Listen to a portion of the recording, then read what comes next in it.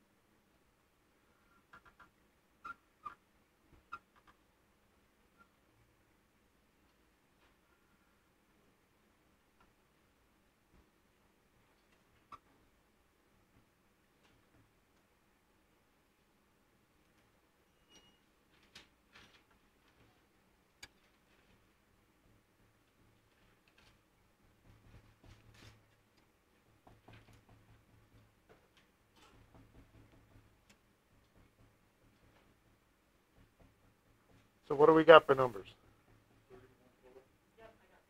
Okay, 31. Other people got a 14-17 split between female and male?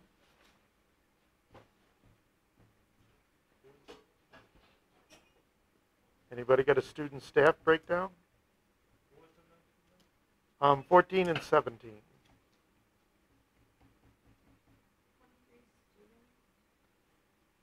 Anybody else get 23 students?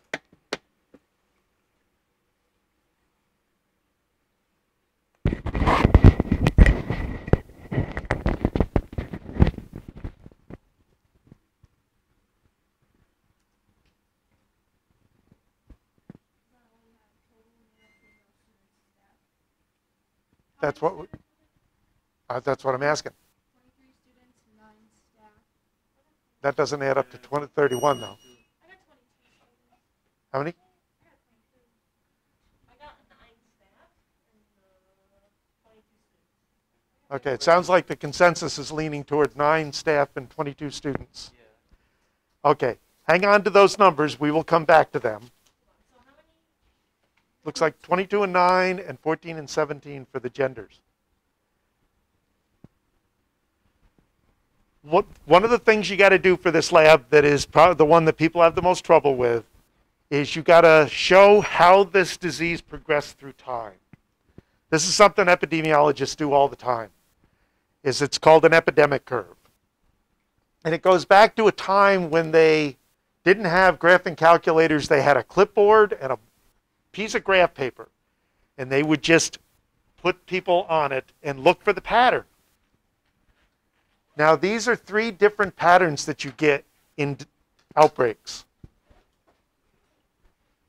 You get one where you get a little outbreak, a gap, bigger group, a tiny gap, and then a big group that keep, just keeps going and going.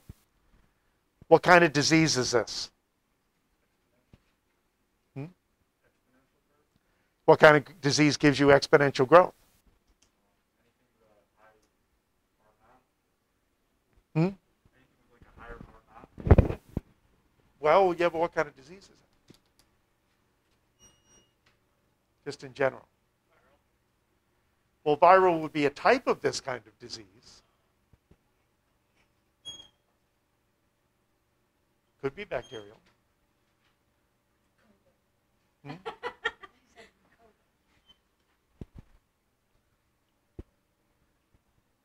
Hey, we're dealing with one of these in the world.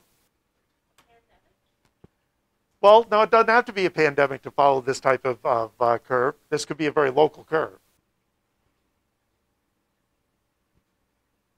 But coronavirus is one of these types of diseases. And it's one of those things where if I get to tell you, everybody in the room's going to go, of course. Nobody? It's contagious. You got a case? Maybe, maybe this is a little cluster of cases. Maybe it's a single case. You've got an incubation period where they spread it to other people. Here's the other people. They're starting to spread it, and then it's starting to take over the population at large. In a real world, you, would eventually run out of people to infect and it would drop off, but it would take a while. And if people were dying from this, it would be a bad idea to go that way. Now, this is, we've taken our timeline and broken it up. Now, the timeline is something you have to decide how to break up. This could be days, this could be weeks, this could be hours if something acted really quickly. This could be individual cases or tens of cases or hundreds of cases. But here's an outbreak where it all happened in the same block of time. And nothing seems to have come before it, and nothing seems to have come after it. So this doesn't look to be contagious, but it looks like it all came from the same source. Maybe there was a chemical spill. Maybe the water got contaminated, you know, the local water got contaminated. So this is, looks like a non-contagious single source outbreak. And sometimes this spreads a little bit too. It, it doesn't always look this neat. And then you get other ones that are just really weird, where some poor epidemiologist is trying to figure out what's happening on these days that's producing the cases, because it doesn't look like it's contagious. It isn't, it may be the same thing, but it's not the same thing on the same day. And then it's a matter of, you know, what the heck is going on here? You're going to make up one of these curves. Look at the very back of the lab. You have the world's cheapest graph paper.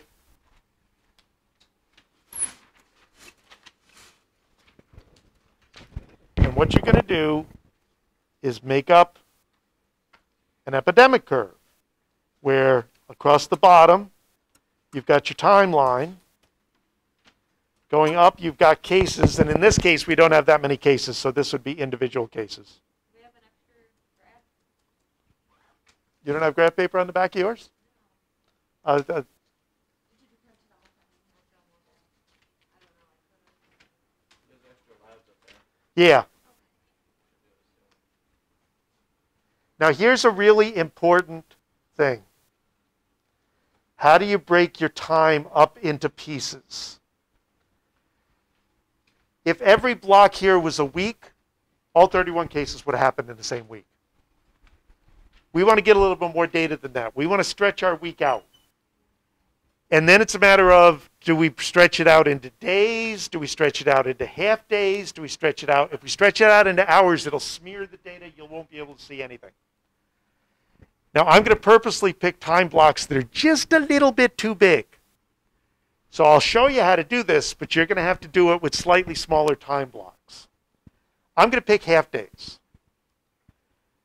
Now, in order to do half days, I got to time. I got to get everybody on here. When did our first case happen?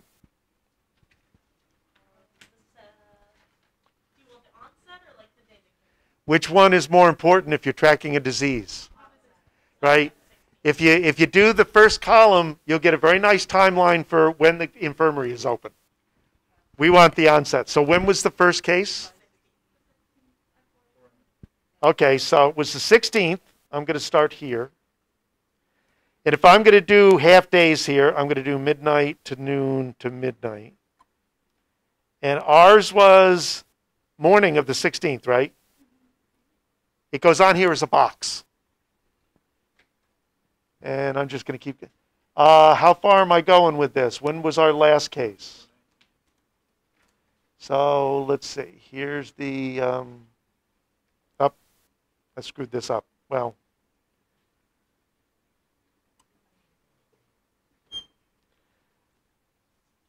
So I at least got to get the afternoon or the uh, evening of the 19th on here because those are our cases. If I were doing this for real, I'd make it a little wider because who knows, we may run into more cases as we're putting this together. And that's why people design this to have boxes on it. So that if a new case came in, you wouldn't have to erase everything. You could just add a box to the cases you already had. So when's our second case? The 17th at 8. AM or PM? Okay, next one? Uh, same day at 6:30 p.m. Next one? Same day at 7 p.m. There's two cases actually at 7 p.m. Okay, so now we start to pile the boxes. Next one. Uh, yep. Next one.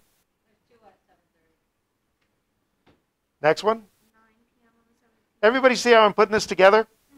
As long as a case occurs in this 12 hour period, they get to be a box piled on the other boxes. The only time it gets tricky is if somebody got the onset was noon or midnight, and then you would just decide which side of the line to put them on. Right? You wouldn't straddle the line with it. So if I were to do this whole thing, how many boxes would be up here?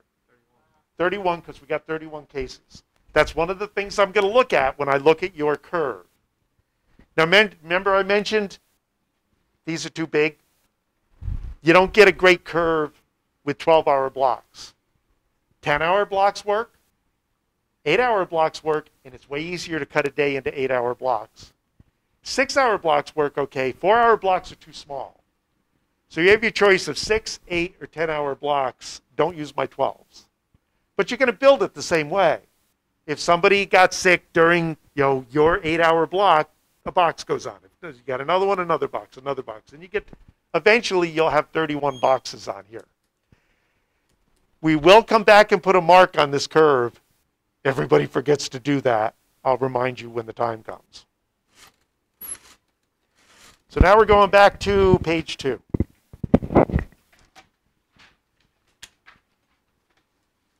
Number one was the epidemic curve that I just talked about. Since I'm lazy and I'm not going to do the whole thing, I got to tell you what, what the curve is going to look like. Because right now it kind of looks contagious, doesn't it? Except what's going to happen when you build this, it's going to peak, it's going to drop, it's going to die. Is it's not going to, this is not being passed on to other people. So this is not an epidemic that's contagious. So for question two, this is a single source, non contagious epidemic. That's your answer to question two. So write that down.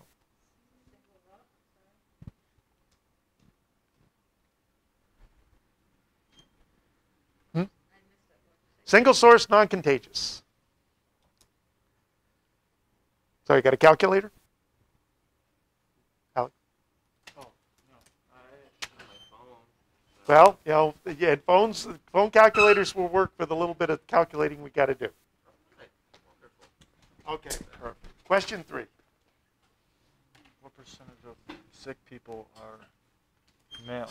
You know how to do this? So divide male by total. What was the total? Yep. Divide the number of males by the total number. Divide the smaller number by the bigger number. Where's- where did I write that? It was That's- 14 males, right? Or Um, no, it's 17 oh, males. 17 males. males. Divided by what? 50. What, So what number? just take it to the nearest percentage. So 55 percent. Okay, so our sick group is 55% male, which leaves them what to be female, Uh, 45. right? Because it's going to add up to 100. Now there's a third part to the question. The percentage is significant. Uh, not really. They're too close to each other to make. They're. It's not large enough of a sample. Okay, does everybody agree that the percentages don't mean anything? The last part of this question, are the percentages significant? How do you tell? Okay, what if our sick group was 55% male and this was a girls' school? Would that be significant? Yeah. What do we need to know? We need to know how the numbers compare to the school, right? What's the, the breakdown for male, female at the school? Look up the page. Not that page, this page. How many males do we have on this campus?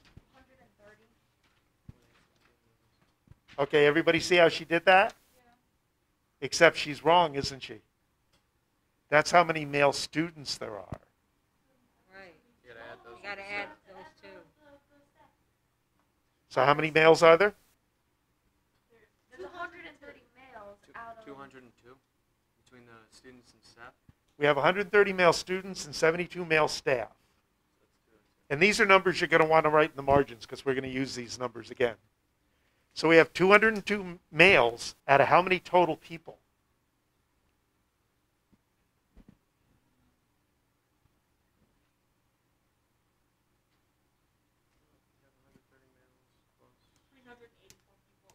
Okay, total of 384 people.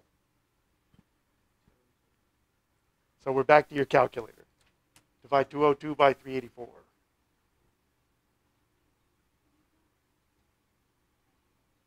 Fifty, 53% rounded. Okay, other people getting 53% for the whole school? Okay, so this is even closer than we realized. The school's about 53% male, the sick group is about 55% male. So this seems to have hit them as an equal opportunity attacker as far as gender is concerned. And you go, well, that doesn't mean anything. Is this going to be bathrooms? No. No, because bathrooms are gendered, right? It probably, depending on how their housing is set up, it's probably, if they have male and female dorms separate, it's probably not going to be a dorm. So it does give us some clues. If this is a typical campus, it is probably whatever phys ed facilities they have. It's probably not that because that tends to attract a lot more males in the off hours than females. You know, so there is some clue there. Huh. Everybody has to eat, so they probably went to the cafeteria. It is possible. You're ahead. Of, you're getting ahead of us. Next question. What percentage of sick people are students, and what percentage of sick people are staff? So how many sick students do we have? So we have 130 male. That's not how many sick students we have. We have Thirty-one. 31, That's how. That's how many people. Oh, right. 22. right. 22. Students 22. 22 sick students out of how many students? out of students. That's seventy-one percent, right? 248 total 248 students, and when you do the math, what percentage is that?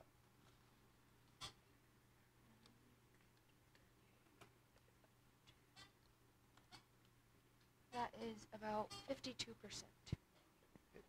Anybody else get 52%? Wrong numbers. Okay, I'm s- I read the question. I'm so confused. Okay, how many sick students do we have? We have 22. 22 out of 248.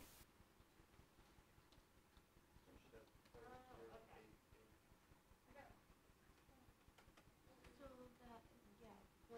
point, so like less than 1%.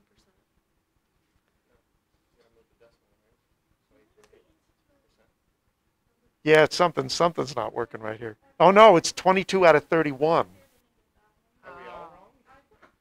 That's the percentage of sick people that are students, right? The number of sick sick people is 31. The number of students is 22. There's your percentage. So divide 22 by 31. That's okay. I got myself confused too. Okay, so that's about 71%.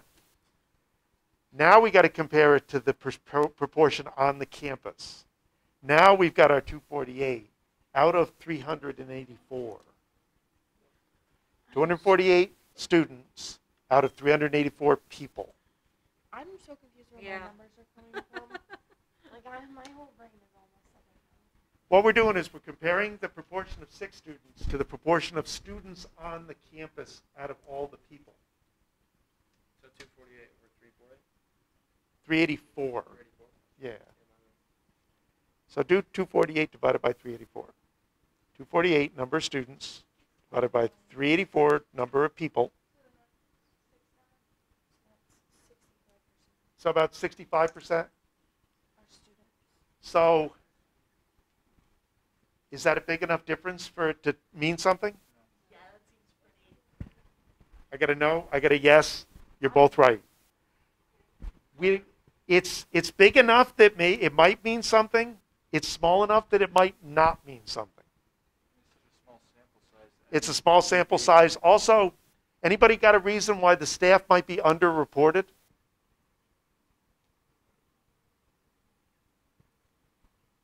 You're a staff member on the school and you get sick.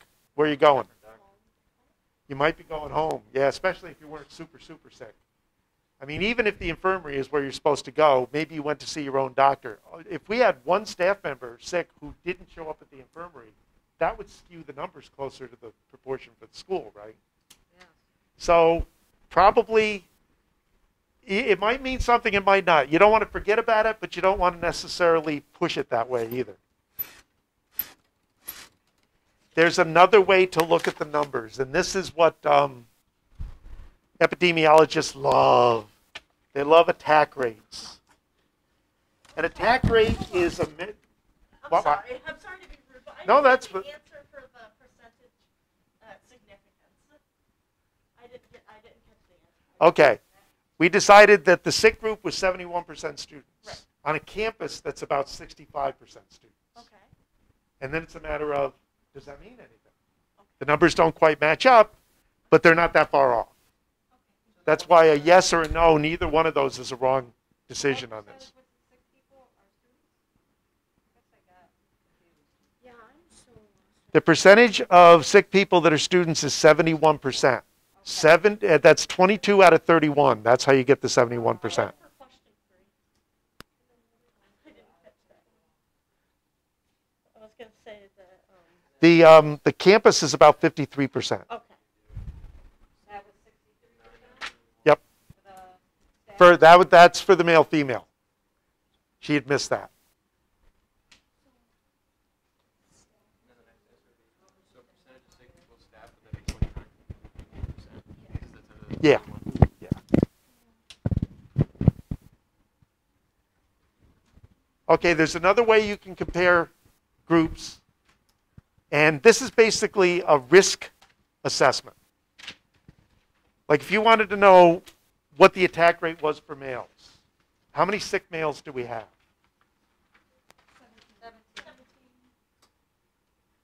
How many males are on this campus? Is it, is it 202? So what was your risk? If you're male on this campus, what's your risk of being sick? Well, 17 out of the 202 males were sick. That's your risk. Give me a percentage. Take it to a tenth on this one.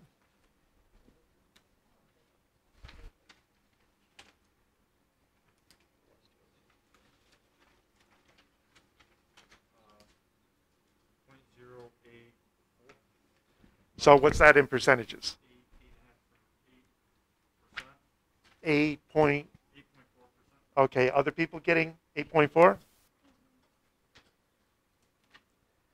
And we've got 14 females out of how many females? hundred and eighty-two. What was the risk if you were a female on this campus? Uh, seven point seven percent.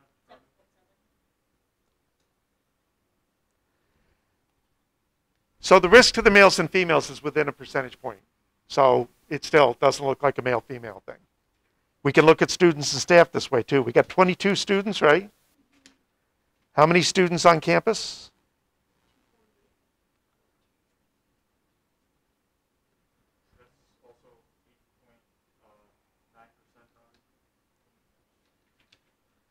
And we've got, what, nine staff? Out of how many staff?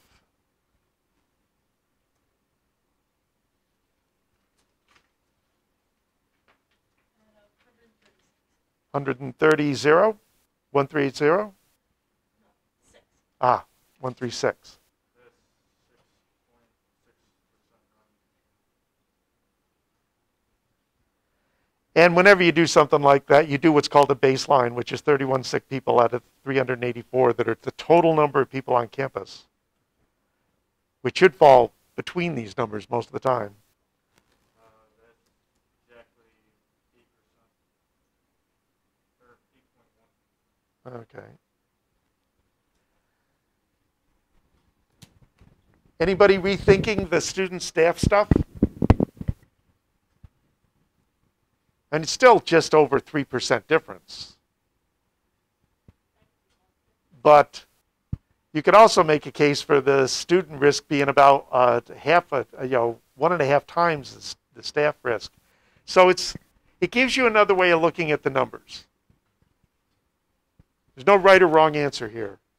And so, does it look like a group has a particularly higher risk? If you decide, yeah, the students do, that's an okay. But it's not so high that it's absolutely a right or a wrong answer.